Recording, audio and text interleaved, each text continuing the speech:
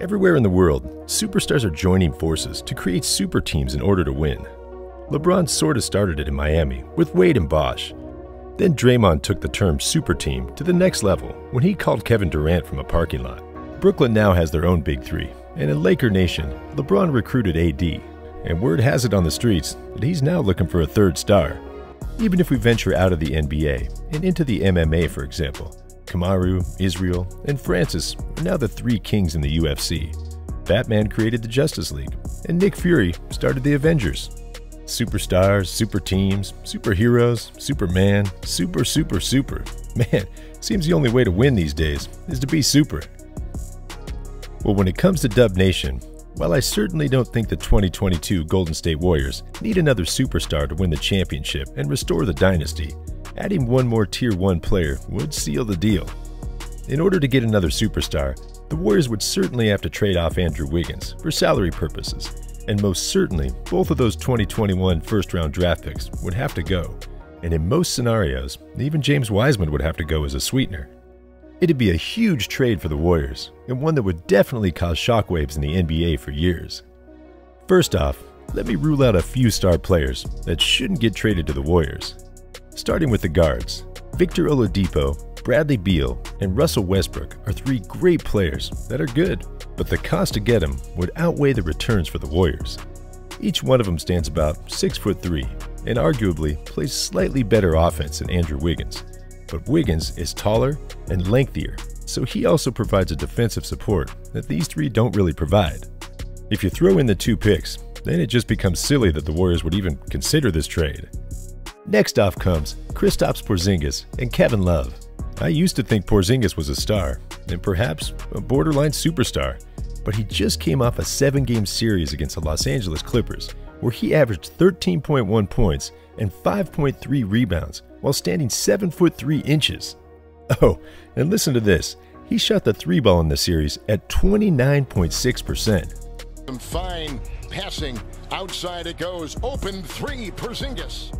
Just for some context on how bad Porzingis played in this series, 6 foot 3 Steph Curry in his last playoff run in 2019 averaged 6 rebounds, which is more than what 7 foot 3 Porzingis just averaged in his 2021 series against the Clippers. Although I do think Porzingis still has the potential to become a superstar in this league. His mindset and his proneness to injuries are two big caution lights that I'm really wary of, and because of those factors, I wouldn't pull the trigger on this trade. Kevin Love's also on the market, but in the last three years, he's only played about 100 games. In addition, he's turning the ball over like this. This play I was talking about, just good hustle. What is Kevin Love doing? I don't He's just batting it. At this point in his career, I'd rather take Andrew Wiggins over the 2016 champion. Okay, now that we've gone over the stars and superstars that I wouldn't trade for, let's take a look at acquisitions that the Warriors should heavily consider if the opportunity presented itself. I'll start off with the trades that are less probable. Number one on this list is the two-time MVP, Giannis Antetokounmpo.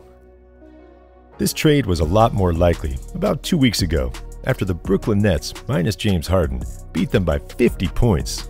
If Kyrie and Harden were healthy in the series, I think Giannis would have understood how hopeless it was to stay in Milwaukee, because there is no way under the high heavens that the Bucks would ever get past the Nets.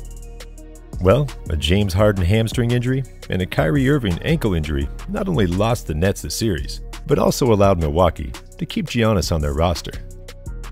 If a Warriors trade did go through, it would cost Wiggins, Wiseman, and both the 2021 first round picks, but would be a trade that put the Warriors over the top. Giannis working alongside Curry, Klay, and Draymond would dominate the paint and the perimeter, and the four of them would win two rings minimum. With all the double team attention that Steph and Klay Thompson would command, the Greek freak would have more than enough room in the paint to truly show off his Superman cape. Connaughton catch and shoot three. Halfway down and out. Antetokounmpo. Oh! Next off on the list, as number two and number three, is Kawhi Leonard or Paul George. Just like the Giannis situation, about two weeks ago, a trade seemed a lot more likely. The Clippers were down 0-2 against both the Mavericks and the Jazz. It seemed for certain that either Leonard or George would be leaving in the offseason. But give them credit, the two superstars in LA pulled off two awesome comebacks, and because of that, the Clippers reached the conference finals for the first time in franchise history. And with that, the chances of either Kawhi or George leaving LA have gotten very slim. Still, though, a trade for either of them would have the Clippers asking for Wiggins, Wiseman, and both the 2021 first round picks. Unlike the Giannis trade, even if the Clippers wanted Wiseman, I wouldn't include him. And if the Clippers wanted the trade, the Warriors should only add in Wiggins, the two picks, and perhaps some other role players like Paschall or Bazemore. If the trade did go through, though, and the Warriors got Kawhi for Wiggins plus Paschall plus the two first round picks, it would put the Warriors way over the top. Kawhi would be next to proven champions, who have a proven system, and the two time finals MVP would be able to load manage in the fourth quarter as the Warriors are blowing teams out. No rush here for LA. Leonard, seven to shoot. Kawhi makes his move. Oh! Wow! Paul George, although not as lethal as Kawhi, would be just as deadly if he donned a Warriors jersey. And he would still cause an imbalance in the NBA if he relocated to the Bay Area. Number 4 on this list is Karl Anthony Towns. The Minnesota Timberwolves superstar is another player that's been in the middle of a lot of trade rumors. If the Timberwolves did go along with this trade, the Warriors would have to give up Wiggins, Wiseman, and both the 2021 picks. Still, though, Karl Anthony Towns, along with Draymond, Steph, and Klay, would make one of the most formidable lineups in the NBA. This team would win a minimum of two rings, and Karl Anthony Towns is still young enough to develop further within a championship organization. And the Sixers, their largest lead at eight, as Towns goes in and slams Ooh. over Embiid. Ooh. The Timberwolves, on the other hand, could develop a really good young team through adding Wiggins and Wiseman, plus the two draft picks from 2021. Next off is number 5 on the list, and I must say, this one caught me by surprise. It wasn't until recently that trade rumors surrounding this superstar flooded the news media, and that is Zion Williamson's family isn't happy about Zion's situation in New Orleans. The Zion trade is a bit more complicated because, unlike the other superstars, Zion is still in his rookie contract. James Wiseman and the two picks would definitely have to go, but I'm not too sure the Pelicans can absorb Andrew Wiggins' contract, especially if they want to re sign Lonzo to a bigger contract. Let's just say, for the sake of simplicity, that Wiggins was traded, along with Wiseman and the two picks for Zion Williamson. How would that affect the Warriors? Good call. Order second year man. Now Zion again. The truth is, Zion Williamson is a true superstar in the making. He's only 20 years old, but he just averaged 27 points and 7.2 rebounds while shooting 61% from the floor.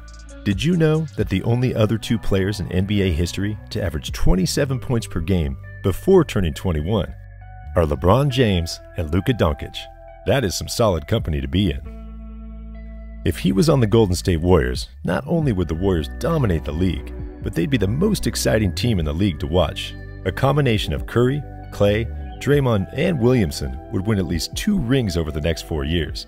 And the crazy thing is that in four years, Williamson would still only be 24 years old, which is two or three years before his prime. A Zion trade to the Warriors would keep Golden State at the top of the NBA pyramid for perhaps the next decade. Man, these are some exciting super teams, and if the Warriors do want to make one of these trades, the one thing I don't want to hear from Warriors fans is the process is complete. That phrase, guys, is a jinx. Did y'all just see what happened with the Philadelphia 76ers and the collapse of their process? It was pretty horrifying, guys, and in case you missed it, I got it right here for you. This is the completely broken process that occurred in Philadelphia, and it's pretty horrifying as a sports fan. Click it, guys, watch it, and I'll see you on the other side.